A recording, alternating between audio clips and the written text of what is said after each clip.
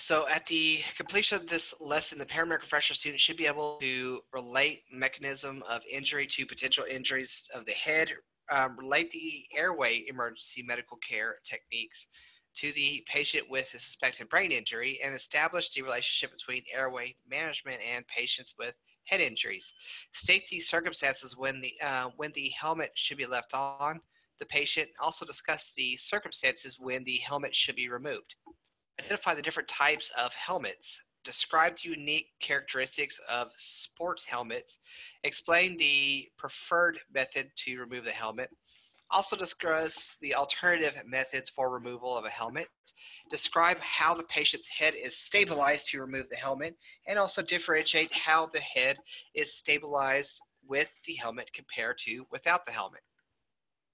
At the completion of this lesson, the paramedic refresher student will be able to um, def, um, defend the reason for leaving the helmet in place for, uh, for transport and also removing the helmet for transport. Um, so this is we're going to talk about brain herniation. So injuries um, to that to the head um, are extremely serious and may result in a severe permanent disability or death um, if improperly treated or missed um, in assessment. So for every patient who is involved in any type of traumatic incident, in which the mechanism of injury or and or signs symptoms indicates a possible head injury, complete spinal immobilization must be considered. Um, a short backboard or spine immobilization device may be used um, on non-critically injured patients at the scene prior to movement of the patient. All right, so head injuries are usually the leading cause of death um, in among accident victims younger than the age 44. Each year, 50,000 people die from a traumatic brain injury. Each year, 1.5 million people incur a head injury. Remember that the central nervous system and head trauma uh, are the primary, um, the injury is only the beginning.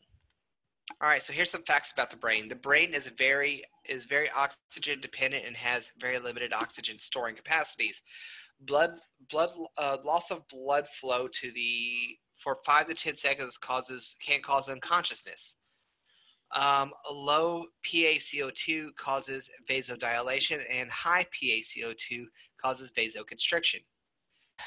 The neurons in the brain are among the most sensitive cells of the body. Um, they have very little reserves uh, to fall back on. Uh, lots of the only thing that they really use is going to be O2 and glucose. The intracranial swelling from the injury causes a change or a rise in the intracranial pressure.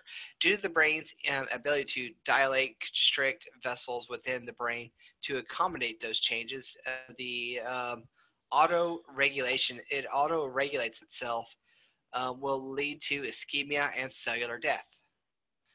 Their neurons will not replace or cannot re- repair themselves at, as the pressure continues to rise within the skull. It is it will displace the brain away from the expanding mass. The movement of the of the compress, um, compressible brain tissue against the rigid skull into the rugged anatomical space caused more injury and bleeding to the brain. Small bridging blood vessels are torn and brain tissue is usually bruised. Um, so tentorial, so there's, there's three primary herniations um, syndromes. One was tentorial herniation, which is going to be a uh. Then you have central um, tentorial herniation, and then you have a sub uh, um, herniation. So the tentorial herniation, um, this is an injury uh, uh, to the lateral side of the brain that causes a shift laterally of the brain tissue. The lateral shift will begin to push the brain backwards towards the All right, so here's a illustration of the of the tentorial um, herniation. As you're seeing, it's sitting there pushing it from, uh, from the lateral side onwards. All right, so the central tentorial herniation. So this is caused when the uh, where a lesion or an injury to the brain is in the midline. The pressure created by the lesion pushes the membrane um, and the um, the diencephalon um, downwards and back towards the foramen um, ovicle. So as you see right here, you got a normal position. As you see here with the herniation, is it's sitting there. As you see here, it's starting to shift the brain into the foramen. Right, so the subfalcine um, herniation. So this is an early form of lateral herniation when the midline of the brain is pushed laterally under other structures of the brain. So here's a picture of this herniation. As you see here, it's coming from the lateral side and it's starting to push around the tissue into underlying deals. Uh, where you see the number one, it's sitting there pushing that down into the um, downwards. Three, making it go around the um, uh, what is that thing called? Um, all right, so forms of brain injuries. So you got contu- you got concussions. This is usually a mild form of diffuse agonal um, injury. Um, usually has uh, these people usually have a full recovery. So then you have a diffuse agonal um, um, injury. Sorry, diffuse ox- injuries. So this occurs in about 50% of all cases of severe um, head injuries. More than 90% of the patients with a DAI all right, so um, okay, so that's what the so diffuse a, um, axonal injury is the DAI. Okay, and and they usually never regain consciousness. Um, injuries is not uh, confined to a focal area, but rather the entire brain. Then you have contusion. This is this is a bruise on the brain and or within the brain tissue. Then you have an epidural hematoma. This is um, the accumulation of blood between the dura and the skull caused by a laceration, lacerated artery, which is profu- which uh, is profuse and rapid. So here's you a illustration of the epidural hematoma.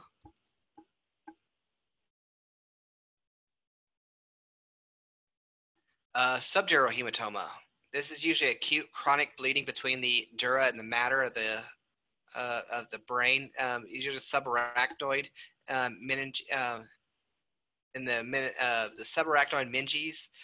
Uh, did you have the subarachnoid hemorrhage, which is the intercranial bleeding between the arachnoid mater and the pia? Then you have the tra- um, trus, um, cer- cerebral hematomas, which is bleeding inside the brain, and then you have uh, the penetrating brain, brain trauma, which is penetrating into the cranial vault from trauma. Subdural hematoma. So as you see there, uh, you usually have a uh, torn uh, cerebral vein, um, and a hematoma develops between the subdural and the dura uh, mater. Or sorry, um, from the uh, sub uh, from the dural and the dura subdural and, the, and dura mater. Then we have the subarachnoid hemorrhage. This is usually comes from um, a bleeding. Uh, right here, that shows a picture of an aneurysm in the artery that starts that develops in the arachnoid or sorry, not the arachnoid, the subarachnoid space um, between the arachnoid membrane and the pia mater. here's your intracerebral uh, cerebral um, hemorrhage. So as you see here, it's, it's a bleeding that, that forms deep inside the brain. And then we have, okay, so forms of brain injury. So if the injury is penetrating injury, like a GSW knife wound penetrating objects, the injury tends to present um, initially as a focal with a um, identifiable focus. Uh, if the injury is caused by deceleration or acceleration, the injury tends to be diffuse with more of a global symptoms and signs and symptoms, or sorry, sorry, global signs and symptoms. So your assessment should be checking presentation, um, presenting and ongoing level of consciousness, secure vital signs, ABCs, um, use C-spine precautions, watch vital signs for irregularities, and also look for signs of Cushing, um, Cushing's reflex. Watch for abnormal signs like posturing. Um, look for abnormal pupillary uh, reactions may be the first signs of increased ICP. Check for check the CNS or CSF. Um, look for signs of cranial nerve involvement. Check bilateral sh- uh, strength for muscle groups.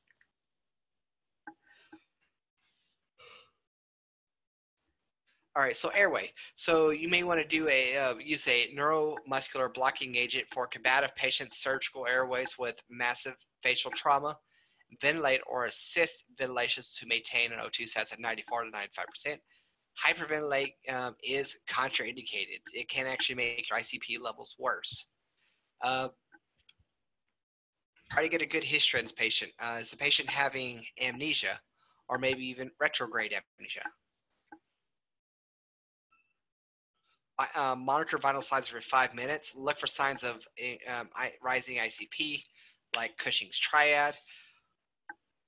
Watch for respiratory patterns like Cheyne-Stokes respirations, um, ataxic respirations, um, or central ner- um, neur- neurogenic hyperventilation. Um, you may want to look at um, administering certain medications um, like mannitol, benzodiazepines for seizures, and also RSI medications. Transport to the closest of, of, of appropriate facility. Watch for scene, uh, watch um, scene times, and also do all your ALS in route.